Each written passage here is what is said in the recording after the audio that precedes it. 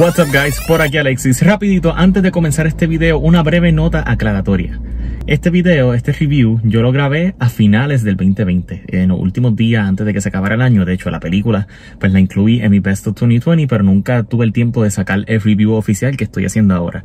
Pero quiero que sepan que aunque este video lleva más de un mes grabado, aún así apoyo 100% lo que yo dije, I stand by it, y de paso estoy sorprendido porque yo dije unas cosas en este video como que ah, me gustaría que tal cosa pasara en las nominaciones y las nominaciones de los Golden Globes este pasado martes pues pasaron y yo quedé como que what no tengo que sacar este video ahora así que este video verán que es un poco diferente el formato así que espero que se lo disfruten. Y por si acaso esta película ya está disponible para adquirir digital y todavía está en uno que otro cine así que si tienen la oportunidad verdad y les gusta lo que escuchan en el review pues, ¿verdad? Que tengan la oportunidad de verla. Así de que nada, sin más preámbulos, los dejo con el video. What's up guys, por aquí Alexis, bienvenido a Ipos Reviews. Y sí, estoy en un entorno diferente, como pueden ver, pues estoy en el cine, vengo a ver la película News of the World, aunque aquí le pusieron News on the World, no sé por qué, aquí al lado están dando Monster Hunter. Y por allá al final tienen Wonder Woman, este, el cine de Plaza Coronado y pues nada, ¿sabes? A pasar un ratito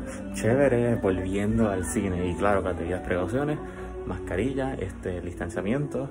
Este, no grabo porque no sé si hay gente en la sala o no, así que los veo después de la película. Eh, estamos por aquí de vuelta en el set para hablar pues de News of the World. ¿Y de qué trata esta película? Pues esta película, protagonizada por Tom Hanks, él hace de Capitán Jefferson Kidd, pero durante toda la película le dicen Captain o le dicen Kidd, so para mí es Captain Kidd. Y Captain Kidd, pues este capitán que se dedica a viajar de pueblo en pueblo leyéndole las noticias, por ende el título News of the World. Y en uno de esos viajes, pues él se encuentra con este carruaje como que, ¿verdad? Que ha sido atacado y se encuentra a esta niña y él pues trata de llevarla, se percata que la niña es indígena y pues es la travesía de Tom Hanks y esta niña, ¿verdad? Que indígena para regresarla a su hogar. En cierto sentido, pues la película es bien parecida a la trama de Mandalorian en el sentido de que, ¿verdad?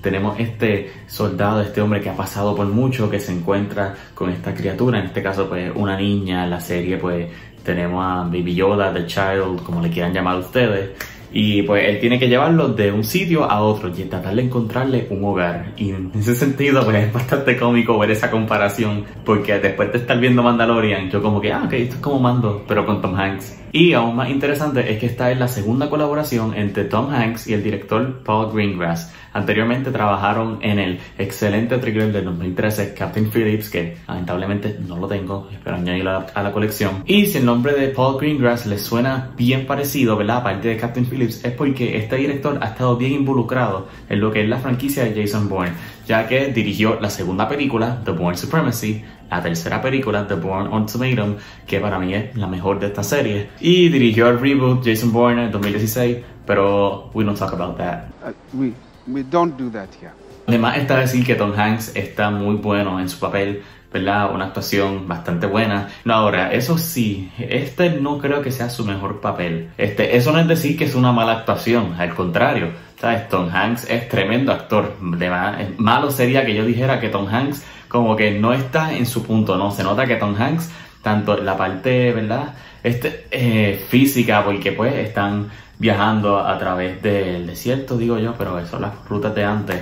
Este, o sea que físicamente pues es un rol que le demanda bastante, ya él que tiene sesenta y pico de años, y emocionalmente, pues normal, ¿sabes? Porque él hace de este hombre bastante estoico, no muestra muchos sentimientos, pero a la misma vez sí siente mucho por dentro. No es nada que él no ha hecho anteriormente, eso en ese sentido no puedo decir de que wow, Tom Hanks se votó. Pero aún así, yo decir que Tom Hanks hizo una buena actuación, para mí eso es más que suficiente. Siempre y cuando que Tom Hanks siga haciendo buenas actuaciones, para mí ese hombre siempre, siempre tiene un lugar especial en mi corazón. Pero para mi sorpresa, este, la, uno de los aspectos que más me disfruté de la película fue la joven actriz Helena Sengel, que ella es la que interpreta a la niña que Tom Hanks se encuentra. Y esto me pareció bastante sorprendente porque por la mayoría de la película es ella y Tom Hanks en el camino, encontrándose gente y simplemente interactuando entre ellos. Pero claro, ella está siendo una niña indígena, so tiene, ¿verdad? Ella no habla nada de inglés, todo lo tiene que, ¿verdad?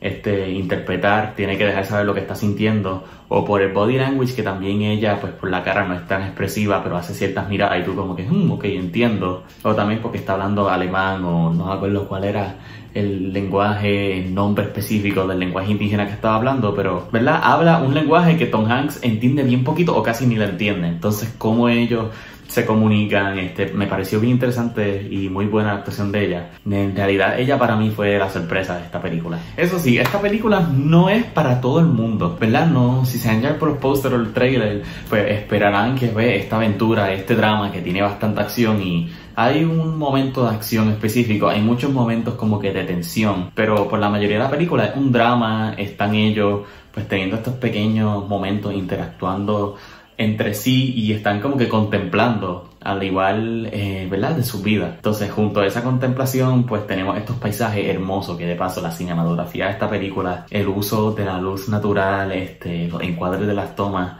yo me enamoré visualmente, este, me encantaría que esta película le dieran reconocimiento por la cinematografía.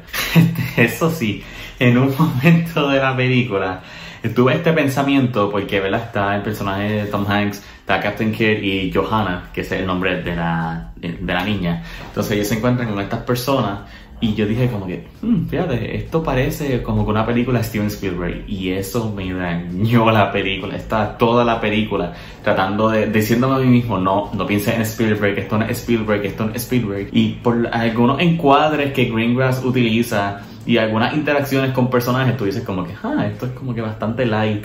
Este, no estoy, no es el mismo director que me dio esta escena. Look at me, sure. Look at me, sure. I'm the captain now.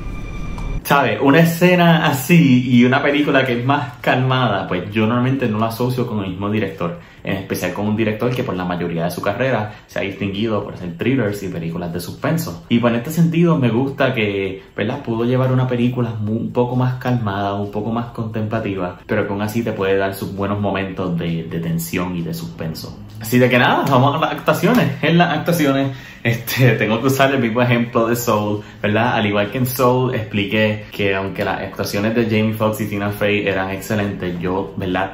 Tiendo a considerar todo el elenco. Este, en este caso, ¿verdad? Este, me voy con un 7 en las actuaciones y le doy el puntito de bono por Helena Sengel. Espero que lo esté pronunciando bien, me disculpan si lo estoy pronunciando mal. En la historia, le doy un 8, una historia bien trabajada. Este, me hubiese gustado más que, ¿verdad? Te explicaran un poquito el trasfondo del personaje de Tom Hanks, pero me encanta la relación que él desarrolla con esta chica y la química que ellos tienen. Esos malos actores, pero esa relación me pareció que estaba muy bien trabajada. En la dirección le doy un 8 de 10. No sé si Paul Greengrass se va a dedicar ahora a hacer más películas así calmadas. Yo, yo espero que no, porque cuando él saca un thriller una película de acción, eso es un evento. Así que espero, ¿verdad? Que si saca otro, pues digo, yo como sea, lo pienso ver.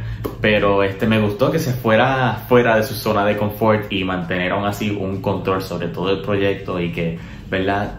Overall, pues un proyecto muy bueno, una muy buena película. En la banda sonora, pues ahí yo le doy un 8 también. No sé si pudiera quedar nominada, si estarla considerada o si llegue al, al shortlist, pero una banda sonora muy buena y nuevamente complementa los visuales, que, ¿verdad? Hablando de los visuales, pues producción, lo que es la edición, lo que es la cinematografía. Este, aquí estoy un poco dividido porque la cinematografía, como mencioné, los encuadres, bellísimos, a veces parecen cuadros y las tomas, pues en realidad está bueno, pero, ¿verdad? Hay escenas donde tienen unos efectos especiales y es como que se nota. Y cuando se nota es que se nota. Sin embargo, hay otros que se ven como que es anormal. Y otro issue que tuve fue con los vestuarios. En especial una escena donde ellos están pues en el desierto y pasa esta tormenta de arena y la ropa sigue como si nada, ¿sabes? Yo, no, yo nunca he estado en una tormenta de arena, pero si algo me enseñó Mission Impossible Ghost Protocol, ¿verdad? Que Tom Cruise tuvo que ponerse goggles para correr por la arena, para seguir al tipo y que después la bufanda se notaba que tenía arena, pues por lo menos la ropa tiene que tener arena. Y si Tom Hanks tiene un sombrero, por lo menos un poquito de arena en el sombrero tenía que tener. Pero, este, aparte de ese mini rant, Eh, le doy un 9 en la producción. Overall, nuevamente, principalmente por la cinematografía y la edición. Así que en total tenemos un 41 de 50, lo cual se traduce a un 82%, más el puntito de bono por las actuaciones, un 83%. Una última nota aclaratoria. Me percaté en la edición que hice el conteo de los puntos mal, así que aquí vengo a restablecer la cuenta. Se supone que overall tenemos un 40 de 50, lo cual se traduce a un 80% B-. Le sumamos el puntito de bono por Helena Sengel y tenemos un 81% B-. Disculpen, ese día era bastante tarde y ya como que mi mente estaba media cansada, pero no se preocupen, aquí tienen, ¿verdad? El conteo oficial, 81% B-. Ahora, continuemos con el video. Este, una película muy buena y yo creo que puede tener un poquito más de atención de aquí a los premios. Nuevamente espero que la cinematografía le den algo, por lo menos una nominación o que digan, mira, sí la teníamos en consideración, pero esta ocupó su lugar. Este, pero nada, me gustaría que más personas la puedan ver porque es un drama muy bueno. Así que hasta aquí este episodio de Plus Reviews, espero que les hayan gustado. Acuérdense suscribirse, darle like y estén más pendientes para más reseñas como esta, Real Talks, en fin, un poquito de todo aquí en Plus Reviews. Así que desde aquí Alex y hasta la próxima. Take care.